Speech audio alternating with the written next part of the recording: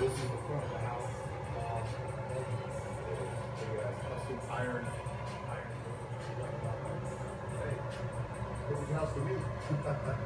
right here on the stairs, more oak leaves.